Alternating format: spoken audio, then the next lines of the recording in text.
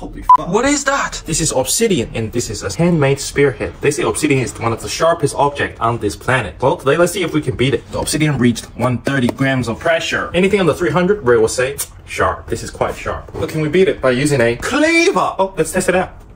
This cleaver dodo, man. It's not sharp at all. 595. I mean, it might not even be sharp enough for bones, but can the pro edge angle adjustable knife sharpener be the savior? Let's sharpen it. Like this. This is not a authentic cleaver. If it's authentic, it's gonna be triple or quadruple or fucking pentagolion the size of the thickness of this one. This is so thin. Let's go with 18 degrees. I can already feel the edge. Let's go with some ram. Bang, bang, bang. Let us drop.